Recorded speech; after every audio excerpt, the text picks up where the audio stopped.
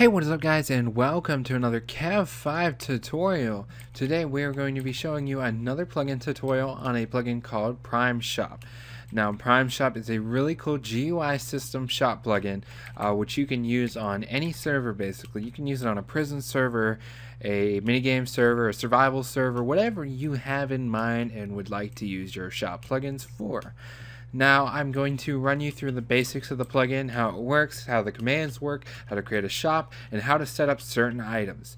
So I hope you enjoy the ride and let's get started into this plugin. Now first off I'm going to show you the commands. Uh, and once you first install it you're going to want to do prime shop which is slash prime shop uh, a list of commands will pop up, including open, list, create, rename, delete, all kinds of cool stuff. It also includes uh, support for NPCs if you have Citizens installed, which at the moment I do not have it installed. I do plan on installing Citizens eventually, just not now. So let's get started, shall we? So I wanted to create a default shop first. But first, before I do that, I want to show you a shop I am working on right now called Skyblock. So if I wanted to see what shops I already had set up, I would do Prime Shop, List uh, and it will show me a list of the current available shops I have on this server. Uh, currently, Skyblock is the only one because it's the only one I'm working on. So let's do Prime Shop, open. If I could spell Prime Shop correctly, then it would open. Uh, Prime Shop open Skyblock. Now, as you're going to see, it opens up a little Skyblock GUI system type thing shop and as you can see it's skyblock and the icon is an ice block. This ice block can be set to any item you want really. It's really neat. And including that you can also set whatever items you would like. Now currently I only have six items in the skyblock shop which are all saplings. But as you can see when I click them the prices are set to really high because it's skyblock obviously. But also uh, just really neat. The prices actually change with uh, rise in demand so say a bunch of people are buying uh, the trees, they'll go, I believe, I believe down in price or up. I'm not sure. Let me let me actually see. Let's test this. Yeah, if you buy a lot of them, they actually go down in price. I think. Hold on, let me test this. Yeah, if, if a lot are bought, they go up in price. If uh, a lot are sold, they go down in price. It's pretty neat and uh, that's basically it. Uh, they're all the same, so let's just not let's not show you that right now. Let's create a shop actually. Uh, so we're going to do Prime Shop, create, and we're gonna call it YouTube. Let's just call it YouTube for fun. And we want to add a display item. So I believe 322 was the one I wanted to create last time. So we're going to do now Prime Shop, open YouTube. If you see, it's a golden apple that says YouTube. Pretty neat. That shows that that's uh, basically to signify how special you guys are. You are like the golden apple to me. you replenish my life. Anyway, um, so let's close out of this for right now.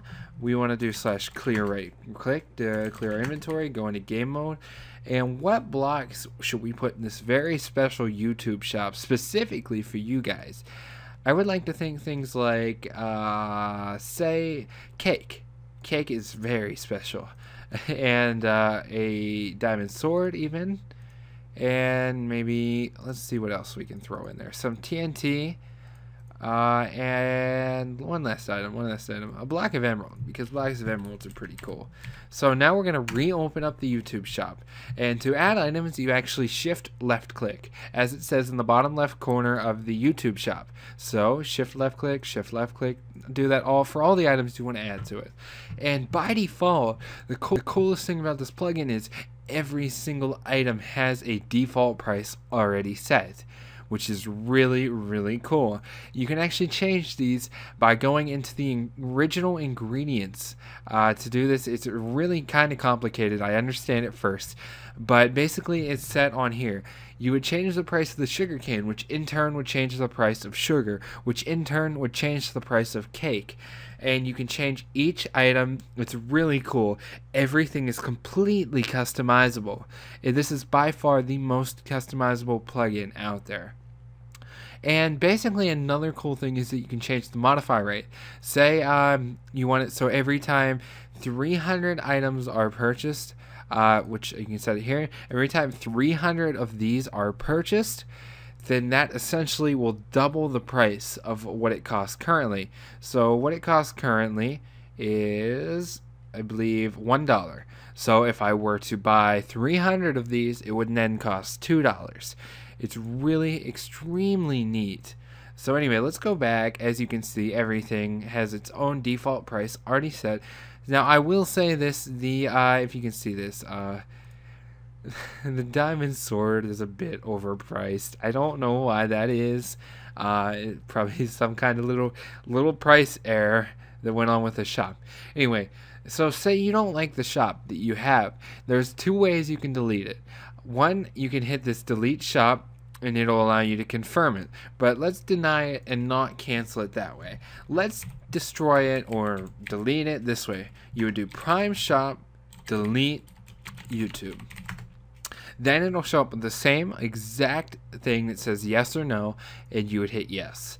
Uh, you can delete it either way. It's really neat. You can basically essentially create some of the most customizable GUI shops out there. And you can also do things like uh, put them to signs, uh, which I will show you actually. Let's show you. So I do not, it's now that I've deleted YouTube, there's no way I can put it on a sign. However, I do still have Skyblock. So you would do prime shop on the top line, and you would do it in brackets too, like that. Then you would put the name of the shop you've created. So the one I have left is Skyblock. And as you're going to see, the colors now change. Uh, and the weird thing about this plugin is you don't right click. You do not right click at all. See, uh, right clicking will not work. It'll say you destroy this item with an arrow. No, you have to left click it which then opens up the shop, which is really neat.